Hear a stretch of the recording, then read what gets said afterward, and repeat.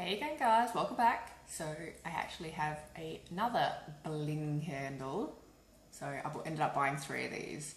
So this one is Love Spell, which I guess it's more of a florally scent. A little bit of sweet, it's not too bad actually. I do have another one of these um, that I'll be burning at some point.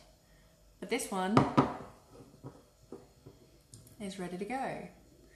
So I've pulled one of these out of one of the other ones that I got and it actually comes with a little tag telling you how much it's worth which is cool because they actually don't have a website.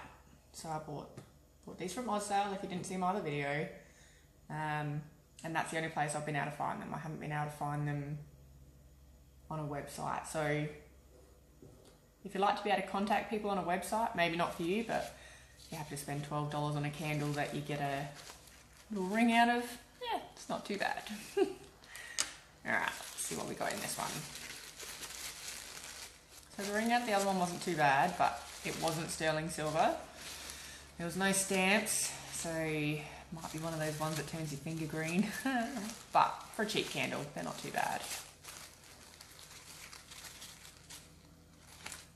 Alright. This one's very pink.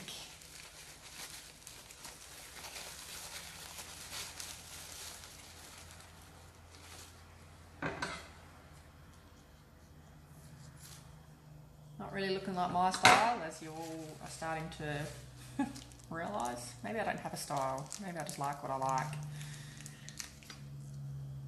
Okay, so this one's cheaper than the other one. The other one I got was 35.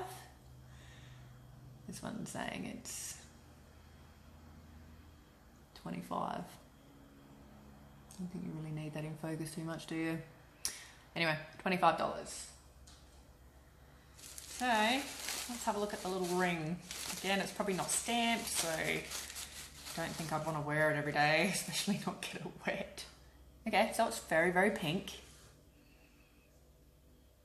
Let's see if we can pop it on a finger. So they're pretty good sizings for me actually. This is the second one that's actually fit, which is kind of cool. So very pink stone. It's got some nice bit of detailing on the side there. We'll have a quick look to see if there's any stamp, but I'm going to highly doubt it for the $25. Okay. No, definitely no stamping, but I mean, it was still fun for a $12 candle. And I have candles burning all the time, so it's nice to get some cheap ones, I guess. Alright, well, thanks for watching.